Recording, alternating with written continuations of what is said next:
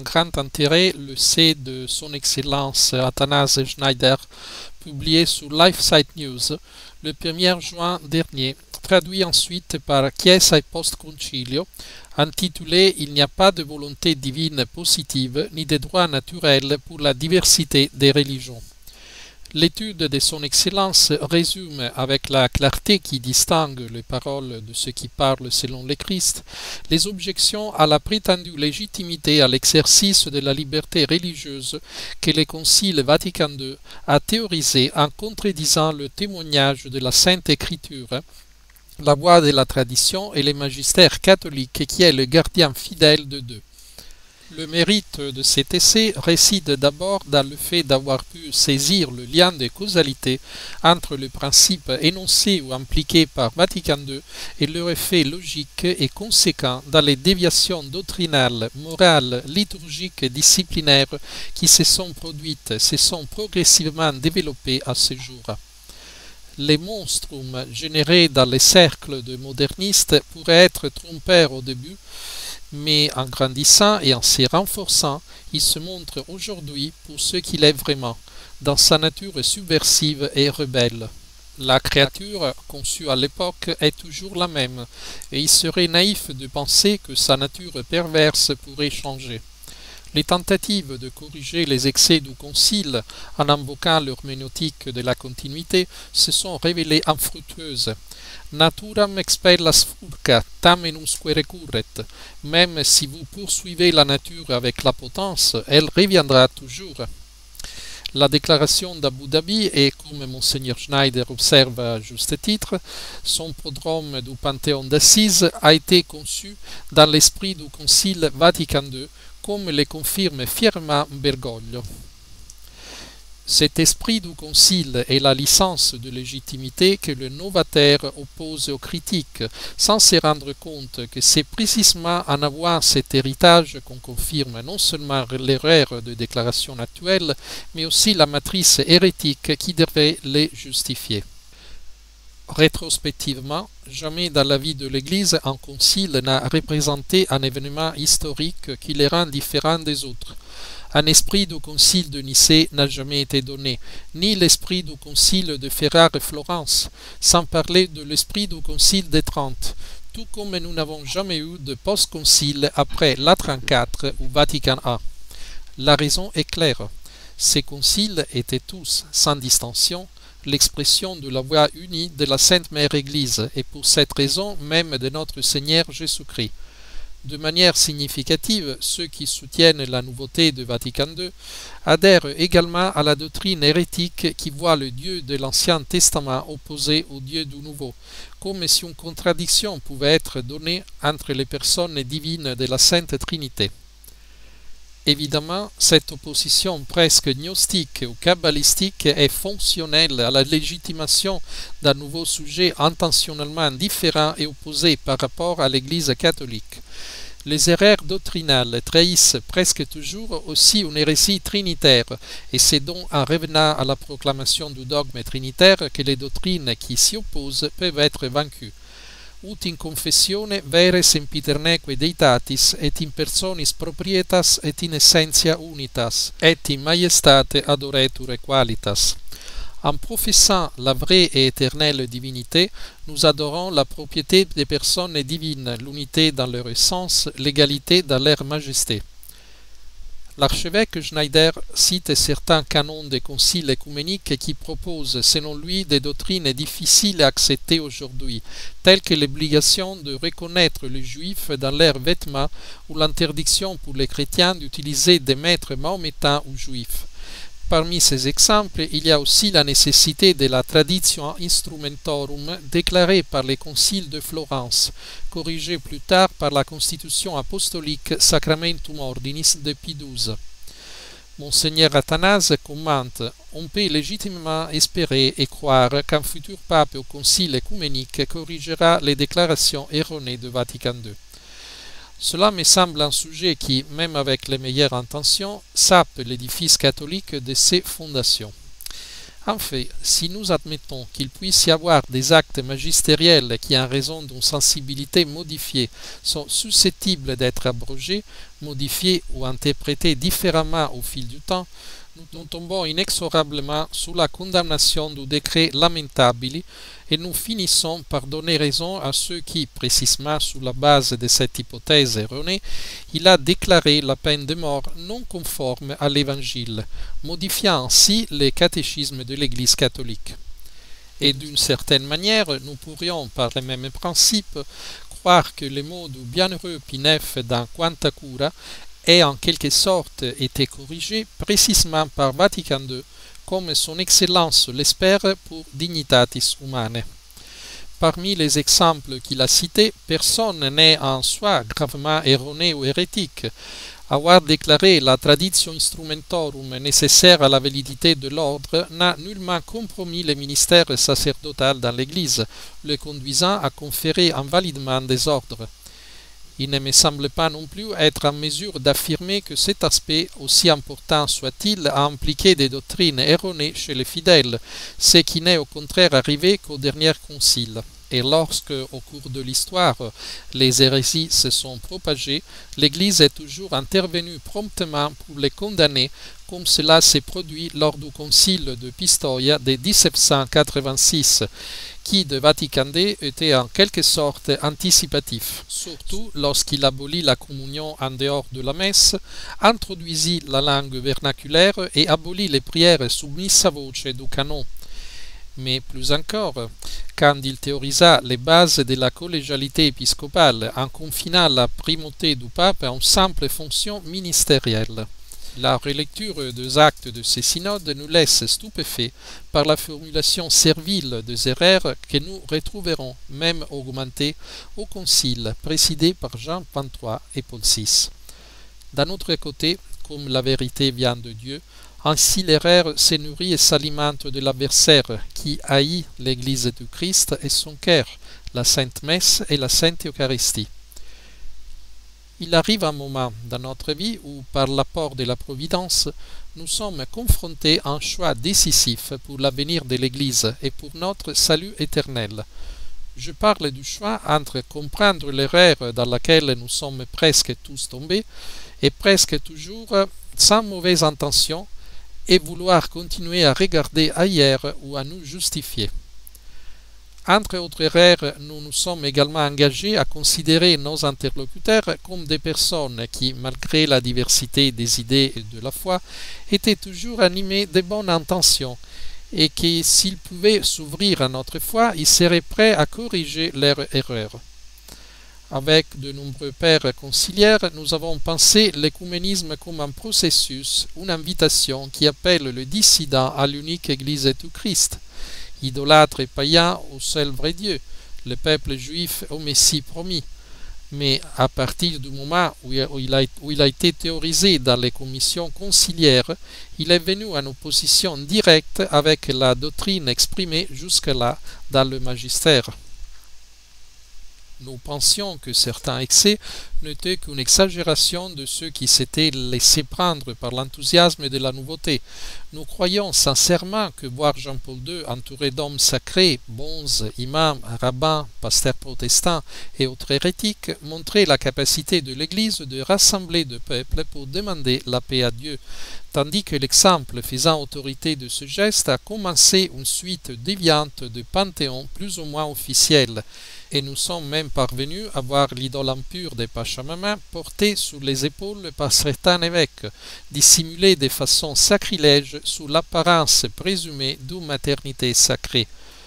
Mais si le simulacre d'une divinité infernale a pu pénétrer à Saint-Pierre, cela fait partie d'un crescendo que la partition avait prévu dès le début. De nombreux catholiques pratiquants, et peut-être même la plupart des membres du clergé eux-mêmes, sont aujourd'hui convaincus que la foi catholique n'est plus nécessaire au salut éternel. On pense que le Dieu trinitaire, révélé à nos pères, est le même Dieu de Mahomet. On l'a entendu répéter depuis les pupitres et les chairs des évêques il y a déjà vingt ans, mais récemment on l'a entendu affirmer même par les plus hauts seuils. Nous savons bien que grâce à l'adage évangélique litera animo occidit spiritum autem vivificat, les progressistes et les modernistes ont habilement pu dissimuler dans les textes du Concile ces expressions équivoques, qui à l'époque semblaient inoffensives pour la plupart des gens, mais qui se manifestent aujourd'hui dans leur valeur subversive. C'est la méthode du subsistitin, dire une demi-vérité, non tant pour ne pas offenser l'interlocuteur, en supposant qu'il est légitime de taire la vérité de Dieu par respect pour sa créature, mais dans le but de pouvoir utiliser la demi-erreur que la vérité entière aurait dissipée instantanément. Ainsi, Ecclesia Christi subsistit in Ecclesia Catholica ne précise pas l'identité de deux, mais l'existence de l'une dans l'autre et par cohérence aussi dans d'autres églises. Voici le passage ouvert aux célébrations interconfessionnelles, aux prières écuméniques, à la fin inexorable de la nécessité de l'Église pour le salut, de son caractère unique, de sa nature missionnaire. Certains se souviennent peut-être que les premières rencontres écuméniques ont eu lieu avec des schismatiques orientaux et avec beaucoup de prudence avec certaines sectes protestantes. Sauf pour l'Allemagne, la Hollande et la Suisse, les pays de tradition catholique n'avaient pas accueilli dès le début des célébrations mixtes avec les pasteurs et les curés. Je me souviens qu'à l'époque on discutait de supprimer l'avant-dernière doxologie du Beni Creator afin de ne pas blesser les orthodoxes, qui n'acceptent pas le filioque. Aujourd'hui, nous entendons les sourates du Coran réciter des chairs de nos églises. Nous voyons une idole en bois adorée par des religieuses et des frères. Nous entendons des évêques désavouer ce qui jusqu'à hier nous semblait être les excuses les plus plausibles des temps d'extrémisme. Ce que le monde veut, à l'instigation de la franc-maçonnerie et des tentacules infernaux, est de une religion universelle, humanitaire et écuménique, dans laquelle ce Dieu jaloux que nous adorons est banni. Et si tel est le souhait du monde, tout pas dans la même direction de la part de l'Église est un choix malheureux, qui se retournera contre ceux qui croient pouvoir se moquer de Dieu les espoirs de la tour de Babel ne peuvent pas être ramenés à la vie par un plan globaliste qui a pour but l'annulation de l'Église catholique, pour la remplacer avec une confédération d'idolâtres et d'hérétiques qui partagent le même environnementalisme et la même fraternité humaine. Il ne peut y avoir de la fraternité qu'en Christ, et seulement en Christ. Qui non est mecum contra me est il déconcerte que peu de gens soient conscients de cette course vers l'abîme et que peu réalisent quelle est la responsabilité des dirigeants de l'Église de soutenir ces idéologies antichrétiennes, comme pour vouloir garantir un espace et un rôle sous les chars de la pensée unique. Et il est surprenant que nous persistions à ne pas vouloir enquêter sur les causes profondes de la crise actuelle, déplorant simplement les excès d'aujourd'hui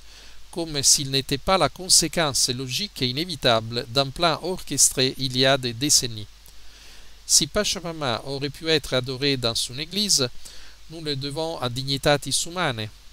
Si nous avons une liturgie protestante et parfois même paganisée, nous la devons aux actions révolutionnaires de l'archevêque Annibale Bugnini et aux réformes post-conciliaires. Si le document d'Abu Dhabi a été signé, c'est grâce à Nostra Aetate.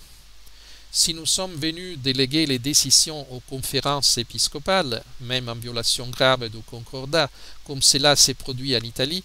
nous le devons à la collégialité et à sa version actualisée de la synodalité, grâce à laquelle nous nous sommes retrouvés avec Amoris Laetitia à devoir chercher un moyen d'empêcher qu'il apparaît euh, ce qu'il était évident pour tout le monde à savoir que ce document, préparé par une machine organisationnelle impressionnante, devait légitimer la communion pour les divorcés et les concubins,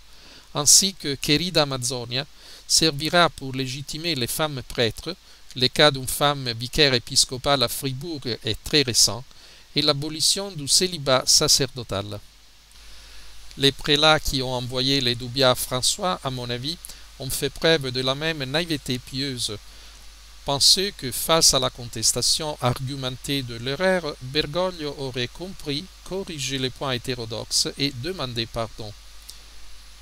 Le concile a été utilisé pour légitimer dans les silences de l'autorité les écarts doctrinaux les plus aberrants, les innovations liturgiques les plus audacieuses et les abus les moins scrupuleux. Ce concile a été si exalté qu'il était indiqué comme la seule référence légitime pour les catholiques, les clercs et les évêques, obscurcissant et connotant avec un sentiment de mépris la doctrine que l'Église avait toujours enseignée avec autorité, et interdisant la liturgie éternelle qui pendant des millénaires avait nourri la foi d'une génération uninterrompue de fidèles, martyrs et saints. Entre autres, ce concile s'est avéré être le seul qui pose tant de problèmes d'interprétation et tant de contradictions par rapport au magistère précédent, alors qu'il n'y en a pas un du concile de Jérusalem à Vatican I qui n'harmonise pas parfaitement avec l'ensemble du magistère et qui nécessite de n'importe quelle interprétation. Je l'ai vu avec sérénité et sans polémique.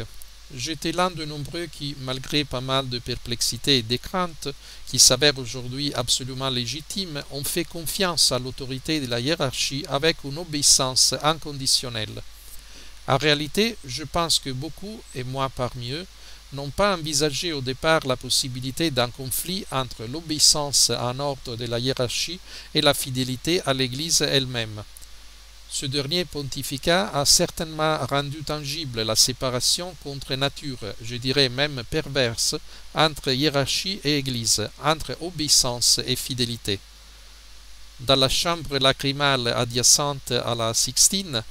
tandis que Monseigneur Guido Marini préparait la bobine, la mozzetta et l'étole pour la première apparition du pape nouvellement élu, Bergoglio s'est exclamé Le carnaval sont terminés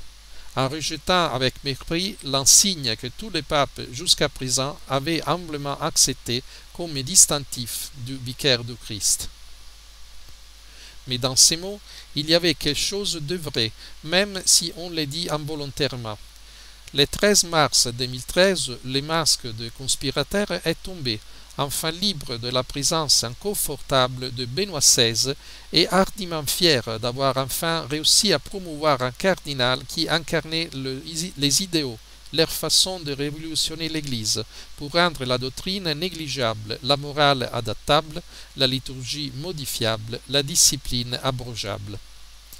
Et tout cela a été considéré par les protagonistes de la conspiration eux-mêmes comme la conséquence logique et l'application évidente de Vatican II, selon eux affaiblie précisément par les questions critiques exprimées par Benoît XVI lui-même.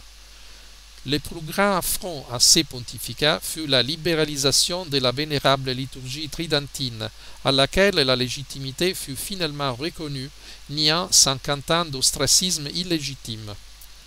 Ce n'est pas un hasard si les partisans de Bergoglio sont les mêmes qui voient le Concile comme le premier événement d'une nouvelle Église, avant laquelle il y avait une vieille religion avec une vieille liturgie.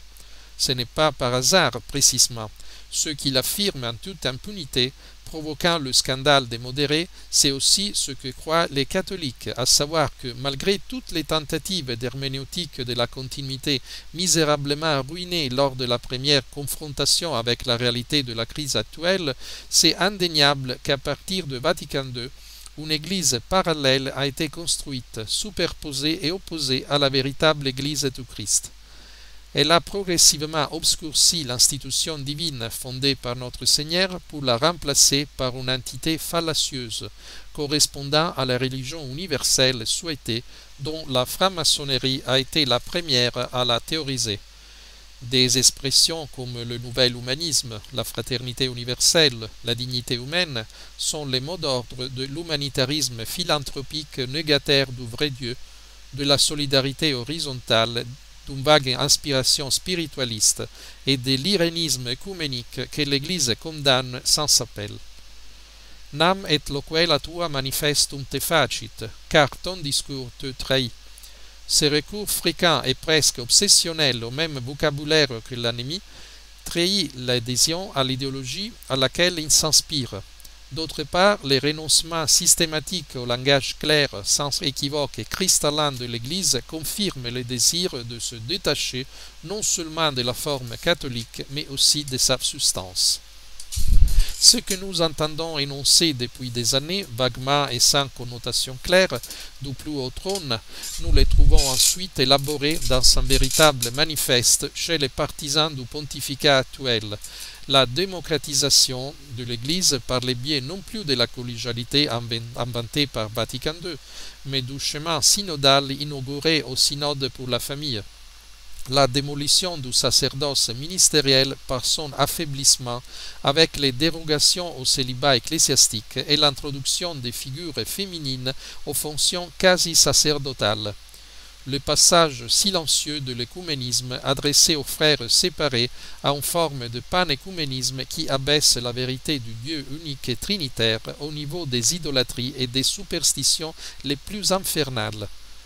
L'acceptation d'un dialogue interreligieux qui suppose les relativismes religieux et exclut l'annonce missionnaire,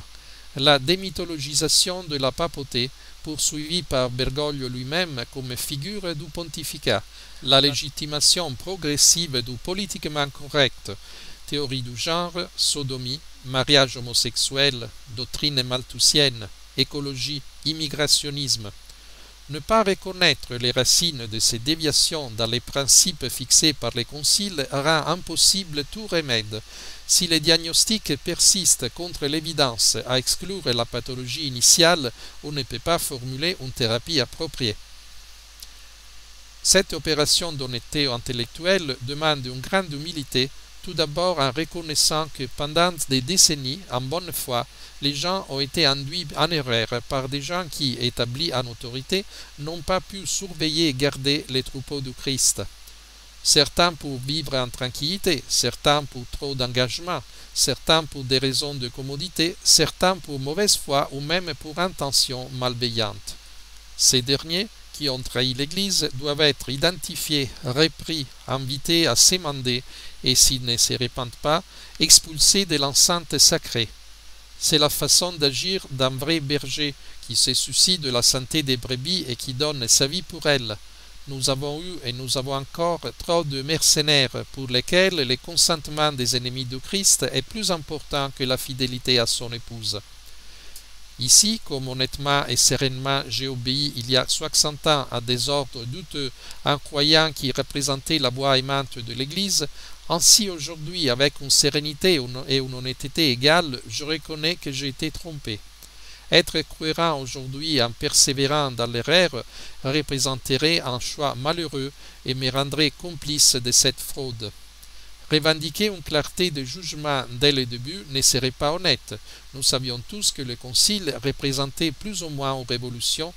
mais nous ne pouvions pas imaginer qu'elle se révélerait si dévastatrice, même pour le travail de ceux qui auraient dû l'empêcher.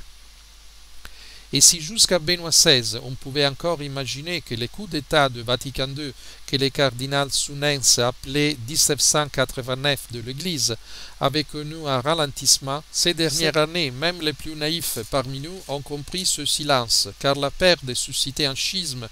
la tentative d'ajuster les documents pontificaux dans un sens catholique pour remédier à l'ambiguïté voulue, les appels et les doutes à François restés de façon éloquente sans réponse sont une confirmation de la situation d'apostasie très grave à laquelle sont exposés les chefs de la hiérarchie tandis que le peuple chrétien et les clergés se sentent désespérément éloignés et considérés presque avec contrariété par l'épiscopat.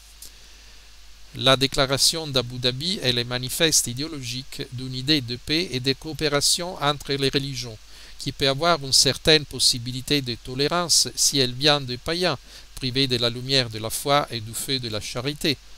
Mais quiconque a la grâce d'être un enfant de Dieu en vertu de son baptême devrait être horrifié à l'idée de pouvoir construire un blasphématoire tour de Babel en version moderne, en essayant de mettre sur pied la seule véritable Église du Christ, héritière des promesses du peuple élu, avec ceux qui nient le Messie et avec ceux qui considèrent l'idée d'un Dieu trinitaire comme blasphématoire. L'amour de Dieu ne connaît aucune mesure et ne tolère aucun compromis, sinon ce n'est tout simplement pas la charité, sans laquelle il n'est pas possible de rester en lui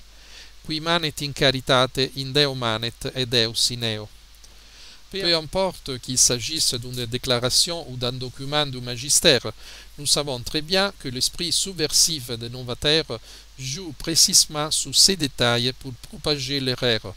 et nous savons très bien que le but de ces initiatives écuméniques et interreligieuses n'est pas de convertir ceux qui sont loin de l'unique Église du Christ, mais de détourner et de corrompre ceux qui gardent encore la foi catholique, les amenant à croire désirable une grande religion universelle qui unit dans une seule maison les trois grandes religions abramiques. C'est le triomphe du plan maçonnique en préparation du règne de l'Antéchrist que cela se concrétise avec une bulle dogmatique, avec une déclaration ou avec un entretien de Scalfari sur Repubblica, peu importe, car les paroles de Bergoglio sont attendues par ses partisans comme un signal auquel répondre par une série d'initiatives déjà préparées et organisées il y a longtemps et si Bergoglio ne suit pas les indications reçues, des hôtes de théologiens et des clercs sont déjà prêts à se plaindre de la solitude du pape François comme prémisse de sa démission. Par, exemple, je pense à Massimo Fagioli dans son article récent. D'un autre côté, ce ne serait pas la première fois qu'il utilise le pape quand il va de pair avec leur plan, et il s'en débarrasse quand il s'en écarte. L'Église a célébré la Sainte Trinité dimanche dernier et nous propose dans les premières la récitation du Symbolum Athanasianum, désormais proscrit par la liturgie conciliaire et déjà limité à seulement deux reprises dans la réforme de 1962. De ce symbole disparu aujourd'hui, il reste gravé en lettres d'or les premiers mots Quicunque vult salvus esse ante omnia opus est uteneat catholicam fidem qua nisi quisque integram inviolatanque servaverit absque dubio in aeternum peribit qui veut se sauver il est surtout nécessaire qu'il garde la foi catholique et s'il ne l'aurait pas gardée intègre et inviolée sans doute il périra pour l'éternité Carlo Maria Vigano Merci pour votre attention. Suite à la réduction des activités économiques, je suis sans revenu pour plusieurs mois. Pour bénéficier d'autres vidéos introuvables ailleurs, merci de soutenir Forum France en utilisant le lien à l'écran. N'oubliez pas de partager sur les réseaux sociaux. Pouce à l'air et à bientôt.